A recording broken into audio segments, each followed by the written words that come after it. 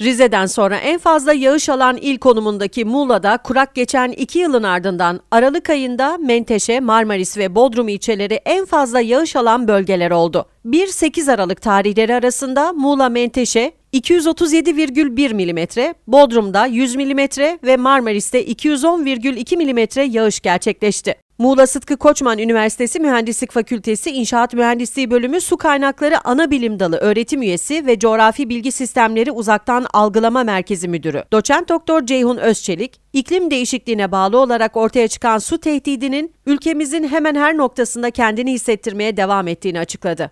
Doçent Doktor Özçelik, 1 Ekim itibariyle sona eren 2021 su yılında Meteoroloji İşleri Genel Müdürlüğü'nün 12 aylık alansal kümülatif yağış raporuna göre ülkemiz genelinde toplam yağışlarda ortalama %20'lik bir azalma gözlendi. Bazı noktalarda bu azalmanın %60'lara ulaştığı belirtildi. Güney Ege kıyıları özellikle Muğla ve çevresi kuraklık etkilerini yoğun bir biçimde hissetmişti. Bölgede meydana gelen kuraklığın ve de kuraklığın tetiklediği orman yangınlarının bir tezahürü olarak zaman zaman şiddetli yağışlar gözlenebileceği ve de çıplak kalan bitki örtüsünün de etkisiyle taşkınlar oluşabileceğini ifade etmiştik dedi. Yani suyu yok. E, hala ciddi yağışa ihtiyaç var.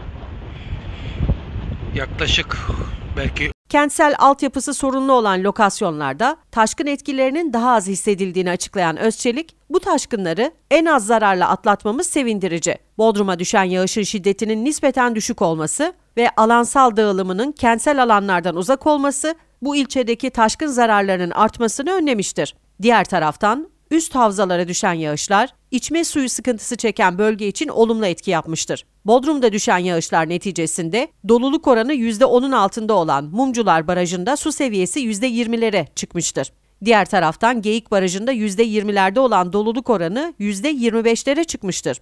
Bölgeye miktarı yüksek şiddeti düşük yağışların gelmesiyle karasal su kaynaklarımızın kendini toparlaması mümkün olacaktır.